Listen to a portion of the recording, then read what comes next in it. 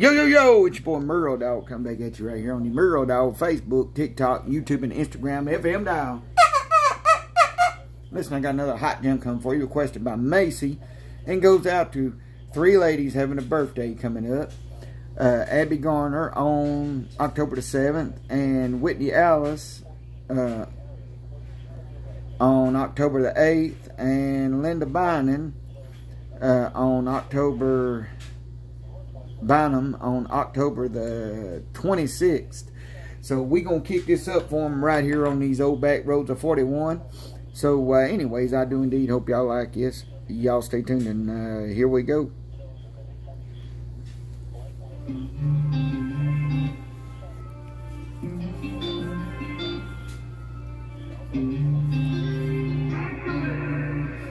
Abbie Garner born on October 7th.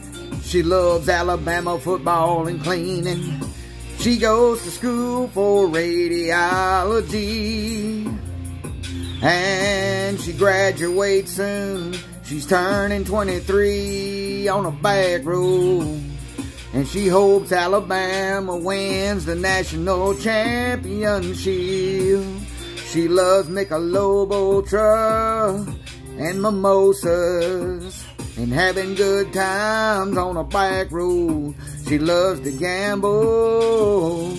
She won 30,000 last week. She's gonna buy a Dyson Airwrap and a Range Rover, a Range Rover. Whitney Allison Thomas was born October 8th. She is turning 21, but she's pregnant with a sweet pea. She's gonna have her baby next month. And we all are so excited to welcome Sweet Pea in this world. Yeah, that little girl. So proud of and will be for the rest of her life. They are so excited.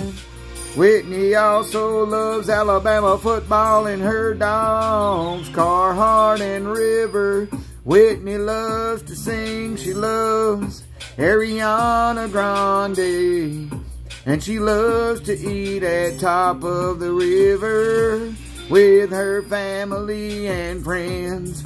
After she has the baby, she is gonna drink high noons. Lydia Bynum is turning 23 October 26th. She loves Hank Williams Jr. Country folks can survive. And she is now a hairdresser and loves her job. She is so good at her job and always gives us the best. Yeah, freshest hairstyle.